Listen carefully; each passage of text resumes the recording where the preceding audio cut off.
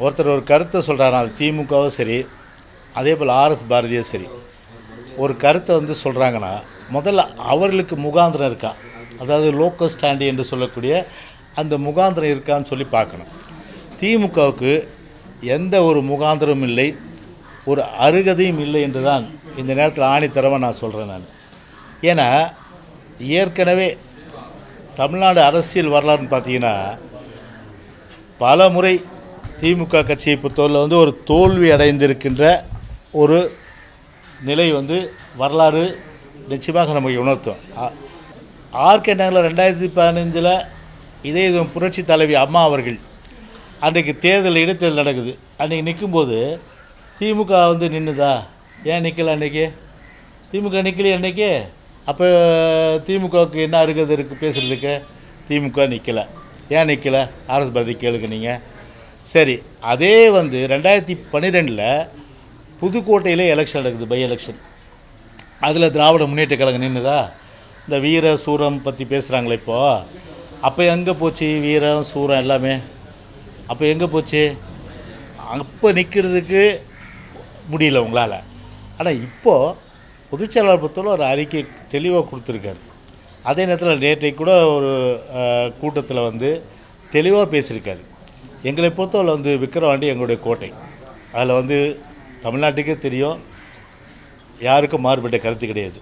ஒரு நியாயமான ஒரு நேர்மையான ஒரு சுதந்திரமான ஒரு ஜனநாயக ரீதியில் முழுமையான அளவிற்கு வந்து தேர்தல் கமிஷனை பொறுத்தவரை தேர்தலை வந்து நடத்துவதற்கு உத்தரவாதம் கொடுத்தால்.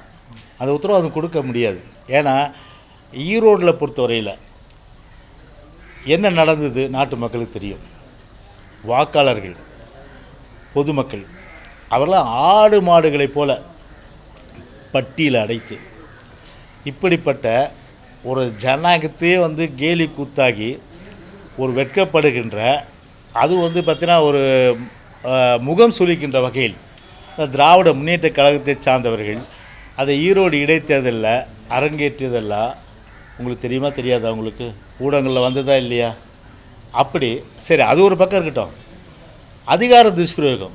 இன்றைக்கி வந்து திமுக ஆளுங்கட்சியாக இருக்குது திமுக ஆளுங்கட்சியாக இருக்கிற ஒரு சூழ்நிலையில் முழுமையாக என்ன பண்ணுவாங்க?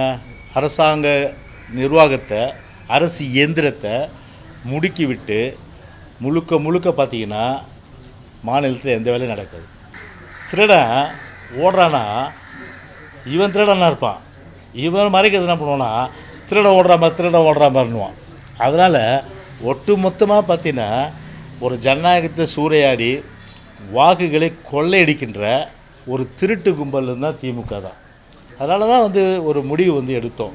அந்த முடிவின்படி பார்த்தீங்கன்னா ஒரு தேர்தல் புறக்கணிப்பு. அந்த வகையில் தான் எனக்கு பொதுச்செயலாளரும் சரி அதே போன்ற கட்சியில் ஒன்று கூடி இன்றைக்கி ஒரு அறிக்கை கொடுத்து வே- அது இன்றைக்கி பொதுச்செயலாளர் விளக்கம் கொடுத்துருக்கேன் எனவே புறக்கணிக்கிறதுனா கண்டிப்பாக வந்து தொண்டர்களும் புறக்கணிப்பாங்க. அதே போல் வந்து வாக்காளர்களும் எங்களுக்கு ஓ ஓட்டு போட்டுக்கின்ற வழக்கமாக ஓட்டு போட்டுக்கின்ற வாக்காளர்களும் கண்டிப்பாக இந்த தேர்தலை புறக்கணிப்பாங்க. அதில் எந்த மாறுபட்ட கருத்தும் கிடையாது.